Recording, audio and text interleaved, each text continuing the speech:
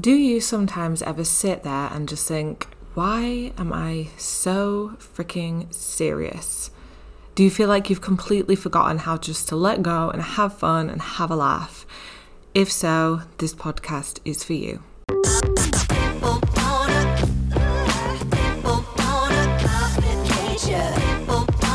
Welcome to Empower Coaching. Empower Coaching combines mental and physical fitness help you connect the dots to unveil a more confident, energized, and empowered version of you. So, if you're ready, let's get into today's episode. Hello, everyone. Oh my gosh, it has been a hot minute, year, I don't know, a while since my last podcast. Um, so, obviously now this podcast is also being uh, hosted on different sites, what with Google Podcasts going, RIP. So there might be some new listeners here coming in from different places, especially YouTube, right? So, first of all, I just want to tell you a little bit about myself because it has been a while if you haven't already listened to the previous podcasts. So, my name is Emma and I am a health and mindset coach. I am originally from the UK, however, I moved to Bangkok, Thailand three years ago, and my word has it been quite an experience. You can listen back to other podcasts to get the full lowdown on that, but just to put things very quickly, I basically came here uh, with someone. I then ended up separating after about a year, and then I have been navigating this incredible city for the past two years completely solo on my own. A point in which many people were telling me, Emma, go home. And I said, no, because I freaking love it here, and let's compare it to the UK, there's so many incredible benefits. And it has also completely opened up my world, opportunities, and experiences since being here. So it really has been an incredible decision. So that's really like the quick kind of lowdown. Um, but I just want to get straight into this episode because it's been a while. I finally figured out how to fix my freaking laptop that broke and uh, also the application that was on there to record oh, it's a long story, you don't need to know. But anyway, here we are. I'm back and I'm able to do these podcasts once again for you, which I'm super excited about. So, today I want to discuss the act of play. This is your reminder to play. Now, what do I mean by that? Well, I don't know how old you are. Okay, I've got various different listeners that come in from anywhere teens all the way up to 50s 60s so you could be anywhere within there but i think everyone experiences that time in their life where things just kind of go on autopilot right and you get stuck in this kind of cycle of you wake up, you go to work, you come home, you go to sleep. You wake up, you go to work, you come home, you go to sleep. Now, this is even more of a problem if you are an incredibly ambitious person and you put your career first because everything else kind of goes on the back burner when it comes to that kind of a goal, right? Where your goal is really just all about your career.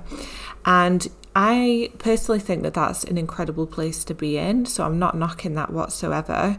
But the thing that I struggled with myself when I was back in the UK and also one of the things that many of my clients who I work with now struggle with the most is just forgetting how to play because everything becomes about work, work, work. And unless you are an incredibly lucky individual where you do not experience any stress with your work, then unfortunately you are going to experience all these other things that many of us do where we get burnt out at times because maybe we miss the signs.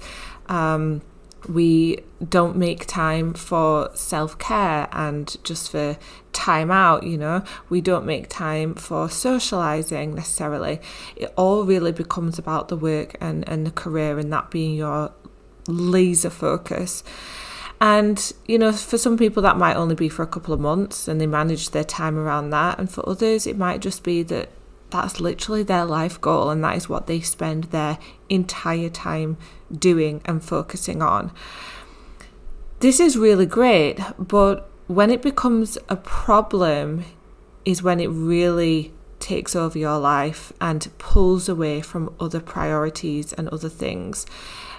As a basic human need, there are certain things that we have to do in order to be able to feel like we are satisfied with life. And this is often the case where a lot of people they will work work work towards their career goals.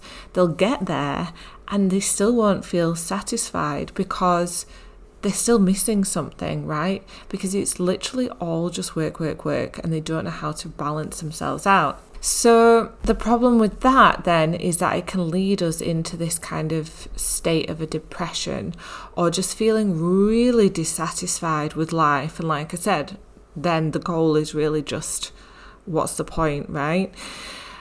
It can also lead some people to feeling lonely and experiencing lon- loneliness because for many, they end up kind of sacrificing their social life in order to, you know, get work done or prioritize work over over social life. So this kind of reminder to play can really help with that. Not just in the sense of when you've just been work, work, work, work, work, and you need a break out from that um, to feel like satisfied and content again. But also, it, this is really good for anyone who is going through a depressive cycle, and you're you're finding yourself just incredibly low, not really having like the answer or understanding of how to navigate out of that. Play can really help with that, and if you're in a depressive cycle, you might also experience loneliness. So, a lot of play can help with that as well because it tends to generally, doesn't always, but most of the time, generally, um, it's a team activity or something that you would be doing with others. And so it kind of feeds into your social recharge as well, and therefore helping with feelings of loneliness.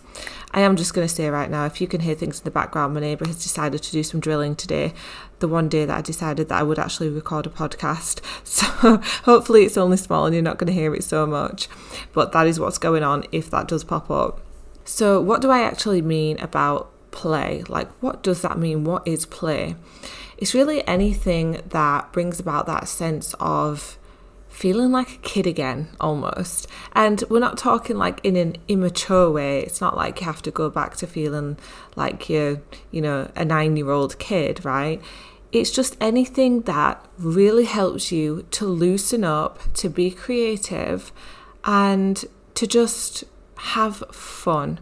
And that's going to look very different for different people, which is why it's super important that you get into when when you're getting into this kind of idea of how to incorporate play into your routine into your daily life that you have a sense of just kind of like being open and, and seeing and, and discovering what that is for you. And that's super fun in itself. There's also got to be an element of relearning, okay? Because let's say you're finding things or for example, classes, let's say a dance class, right? You're finding these things that are kind of sparking a little bit of a glimmer inside of you.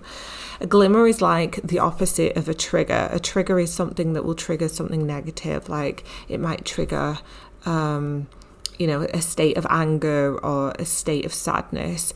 A glimmer is something that uh, promotes a state of happiness or fulfillment or joy. At least that's how I use these terms in my podcasts. So you're looking for something that sparks a glimmer, right? And let's say it's a dance class, just to keep this simple, right? You might be thinking about it, but then holding yourself back because you're like, well, I haven't got a freaking clue if I'm going to actually be any good at this.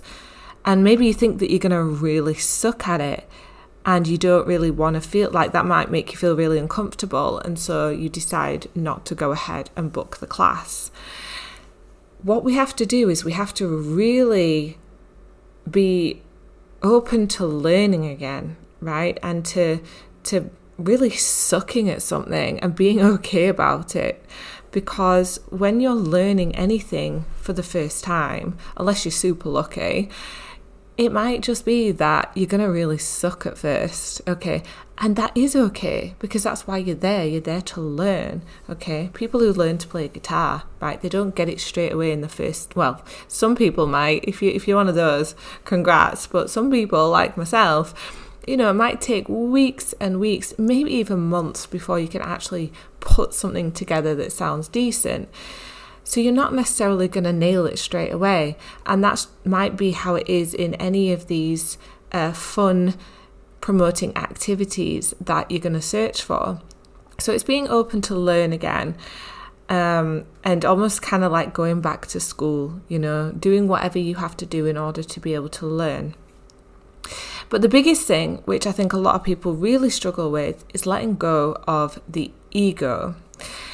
And I think this is harder for people who are in career positions like I'm talking managers, executives, professionals, right? People who have to spend the majority of their day with a very kind of serious personality, right? Where they have to have this uh, certain way about them that that is very uh, serious, right? And they want people to perceive them as being a serious character or whatever because they believe that then they're going to be trusted and respected. If you go into a dance class with that same kind of attitude and way about yourself and how you hold yourself, the chances of you sucking at that is going to be much greater, right? So sometimes you have to just be open to just being silly or just accepting that you might look like a fool or you might feel like a fool. Because most people don't think if you can't do a dance class well they're not going to look at you and be like oh my god have you seen that fool? Right? They're just going to appreciate the fact that you're there and that you're learning and that you're new. But you might feel like a fool and this could really hit into your confidence and your pride. And that is your ego taking over, right? Where it's kind of saying, oh, you look like an idiot, so we should probably stop this right now, never come back ever again. We have to let go of that. We have to really just shake it off and let go of it and appreciate that this time of play is completely different to your time of work. And that's exactly why you're doing it because we're trying to find that balance. We're trying to balance out this work, work, work mentality, right? It's going to be difficult for sure if you haven't done this or you're not kind of used to or familiar with it. And that's where you have to kind of be consistent because you might not necessarily get it in one class. Okay, your, your ego might hold on to you for a couple of classes before you can fully let go. But it's it's really just being open to exploring that and the idea of being okay with just letting go and putting yourself out there, okay, and understanding and accepting that you might absolutely suck and completely mess it up, but that's okay. The other thing is that over the years, you know, you might have completely changed in terms of what you find fulfilling or, or what you find joy in or what you find passionate. So that's another thing to really stay open to is new experiences and exploring what you might actually enjoy because that might have changed, right? Let's say 10 years ago you participated in um, oh come on off the top of my head why can't I think um, an aerobics class. I don't know why I said that, but here we go. We're rolling with it. Uh, it was an aerobics class and you absolutely loved it, right? The thought of it right now might just be like, oh, aerobics. Yeah, I don't really want to do that. You know, you might not really find that glimmer for aerobics anymore. Maybe it's become a trigger. I don't know. Maybe something happened, right? So it's really kind of exploring new experiences as well and discovering what you might now enjoy. And this is so much fun in itself because this is really your kind of discovery stage, right?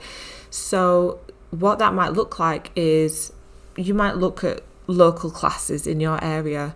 It might be art classes, it might be drama classes, it might be singing classes um, it might be rock climbing, anything, horse riding, whatever. You might have a look at these things and you could take a note of all the ones that really kind of speak to you or that get you feeling a little bit excited about doing. And then you would write those down and then you would just commit yourself to trying just one class. Most places will do some form of a trial class, right, or a trial period. And you just make the most of that and you literally hop around all these different things that are really kind of speaking to you and you have a go at trialing them all out. And let me tell you, it is so fun doing it, unless you come across something that is really traumatic and actually it was an awful experience and you never want to do again. But that's quite rare. For the majority, you'll have a go at trying something new and even if you decide that you don't like it, it's the fact of just doing something new on your weekend or your evening. Okay. So so that in itself is super super fun. But it also gives you an opportunity to find out things that you maybe don't even know about yourself. Me, for example, I recently signed up for acting classes, and oh my god, like I had a lot of fear about this, but I was feeling these glimmers. I was feeling this sense of like excitement and joy every time I thought about it. So I was like, okay, I need to lean into that. So I decided to sign up for it. Now, I'm, I'm not going to lie, when it came to the day of the class, I was absolutely shitting it. I was like, "Oh my god, what have I done? Why did I why did I do this? Why have I signed up for it?" But, you know, I was deep in there and I had to go along. So, I showed up, I showed my face and it was it was tough. It was very very challenging because it was asking a lot of me in terms of my confidence, which is something that I struggled with for many, many years, and social anxiety, something that I still struggle with, um, and self belief and all these kind of things that I've continued to work through. But new experiences that come up will always challenge those once again. And then it's kind of, you know, you're starting the process again of, of working through that. And I would have never ever done this like let's say three years ago back in the UK, I would have never thought to explore acting classes because my memory of acting when I was younger at school was not a good one. In fact, it was probably first when I realised that I had um, problems with anxiety. So for me to kind of go into this was really exploring and I found out something new about myself because it was horrific the first hour or so but after the class, I felt really rejuvenated and recharged and really excited about the next class and what I can learn from this. And I learned something new about myself. I learned that I actually really enjoy acting. So I would have never known that. Another example two years ago, oh, was it three years ago now? Can't remember. But I signed up for singing lessons. Now, I've always enjoyed singing to an extent. But again, I never really pushed it. You know, i was a, a, shower singer, right? Or when I was younger, I would sing in front of my family at Christmas get togethers, you know, that kind of thing. Car singing. Don't tell me you don't car sing. I think everyone does that, right? I actually missed that about not driving out here. But anyway, it was something that, again, it, it sparked a little glimmer. So I was like, let's give it a go. And then I found out that I really enjoy singing again, you know, because I hadn't properly done it for so long. Um, and and there's just so many different activities out there. Okay, I, have never I've never actually been to an art class, so who knows? If I go along to that, I might find that I really enjoy that. But this is what I'm talking about. You don't know what you do and what you don't like until you try it. So that's really what this discovery uh, stage is all about. It's just trying things that spark a little bit of joy go along, see how it goes. Do you enjoy it and do you not? And then you stick with the ones that you really enjoy. And that's where you start to learn more and more about yourself and also your skills. Because if you've never challenged those specific skills, then how do you know that you're good or not at something? So that's another thing. You might learn that you have this hidden talent that you never knew about because you never explored it. This is your chance to do that. You could be the next winning X Factor contestant and you don't even know it if you've never tried singing classes. You never know, you never know. so, that's where the beauty of just this kind of exploration stage is all about. Once you've found that thing that you really enjoy and that you get excited about doing again, that's when you have to then start applying this into your schedule because consistency is key throughout just everything in life. And it really does play true to this also. Like I said, you're not necessarily going to nail something in the first class, right? So you might come away from something maybe feeling a little bit crappy or a bit disheartened that you didn't quite do a good job or as you really hoped that you would do. But if it's something that you really enjoyed, then stick at it. and keep going. Because if you enjoyed it in that moment, then that is your play. That is your playtime. And what a lot of people forget to do, or where they really trip up, is that they forget to then schedule it into their regular routine. And this is how we lose ourselves in the first place. Because again, it's work, work, work. It takes priority and everything else gets pushed back. But if you keep doing that, it will eventually lead you into that depressive cycle of feeling dissatisfied with something or whatever it might be. So it's really important that if you want to keep this going, you've got to remember to schedule it in. Just like anything else, right? If you schedule in a doctor's appointment, you're not going to miss it because it's important. You're, let's say you're going to schedule in a one on one with a client. You're not going to miss that because that's your work and it's important. So it's reminding yourself that play is important, that it holds so many benefits to your mental health and well being. And therefore, really, in the long term, your progress and ability to perform at your best at work as well. You know, the, the two play hand in hand. So, schedule it into your routine as you would anything else. Let's say you found a class that happened to be on a Thursday evening, right? Block it out in your schedule and prioritize it as well. Don't then come to it when someone's asking you about your availability and look at your schedule go, oh, actually, okay, yeah, I'll fit you in on a Thursday night and then delete, you know, your time of play and your time out. Unless, of course, you know, it really is important and, and there really is no way around it. But at the very least, you know, try and find and slot in whatever that thing might be that's come up around your time of play. Because we're probably talking maybe one hour a week, two hours maybe if you've got to do a little bit of time traveling before and whatever. So prioritize it and then you're going to stick to it. And then over time, that's when you reap the benefits from it. So let's do a little bit of a recap then about this, about your reminder to play and how to do that there's really like five kind of steps to this. Number one, be open. Be open to learning, to doing something different, and to really just sucking. Number two, explore and have fun with that. This is your discovery stage.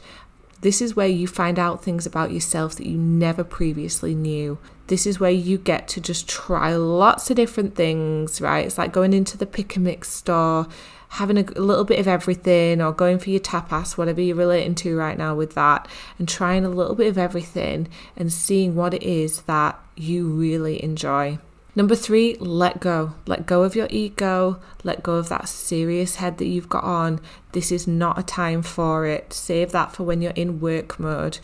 Okay, you can be badass bitch mode whenever you want, but in your time of play, the ego has to take a step to the side and allow for you just to completely loosen up and just be how you gotta be in that moment.